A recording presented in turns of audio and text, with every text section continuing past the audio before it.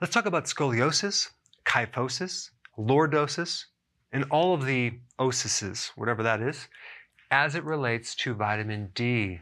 Scoliosis is an abnormal curve from your back, like an S curve. So you're kind of like this right here.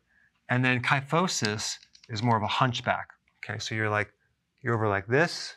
And then lordosis is a condition where you have a sway back where your lower back is going too far in. It's an exaggerated uh, curve in your lower back. Now, if you look up scoliosis, especially what causes scoliosis, you're going to find that they don't have a clue. They're going to say, well, it's environmental. They'll say that 65% of the cause of scoliosis is idiopathic, which means unknown cause. 15% is congenital, which I agree with, happens before you're born. And 10% is secondary to neuromuscular conditions. They don't really give you any more data on that. And they say 38% is genetics.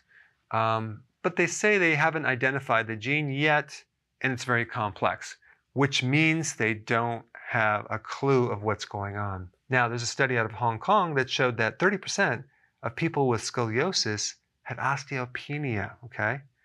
This is the start of bone loss.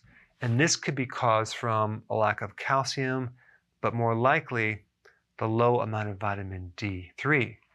If we take a look at D3 and we look up some of the symptoms of a vitamin D deficiency, look what we get scoliosis, kyphosis, lordosis, muscular spasm, bowed legs, knock knees, because vitamin D has everything to do with the development of your skeletal system, especially the spine.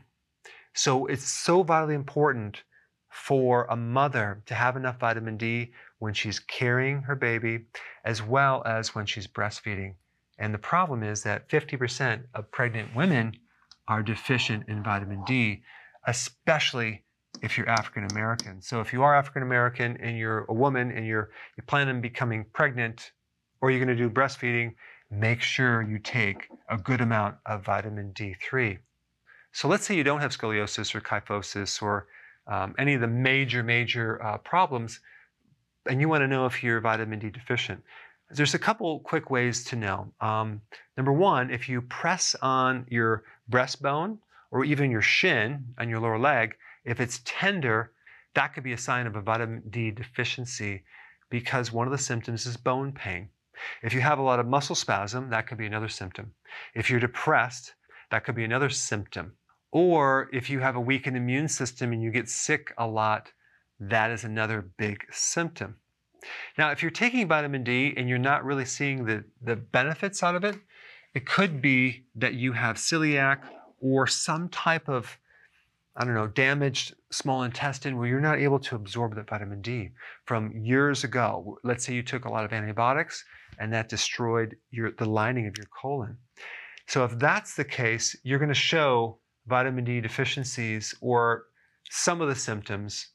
And if you take the vitamin D, you may not see the change. So you might need to take a liquid vitamin D and take greater amounts to see the change.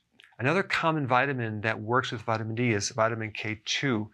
And usually, if someone's deficient in vitamin D3, they're usually deficient in vitamin K2 as well. But just realize that vitamin K2 helps to prevent the calcium from accumulating in the arteries and the joints. Vitamin D3 helps the absorption of calcium by 20 times, absorption from the intestines to the blood. But we don't want to keep it hanging around the blood too much, so we want K2 to take it from the blood all the way into the tissues and the bone. So you need both of these to complete the job. So anyway, I just wanted to show you another very important connection of vitamin D to the shape of your spine. Thanks for watching. Hey, we're back. With another amazing recipe. No grain, no sugar, totally keto. There's no suffering on keto. Absolutely not. And it's an immune system builder. Absolutely. You have to check this out. I think you should hurry up, watch the recipe, and make it yourself. It's so easy to be keto. Is it super easy? It's super easy. We hope you enjoy making it as much as we are enjoying eating it.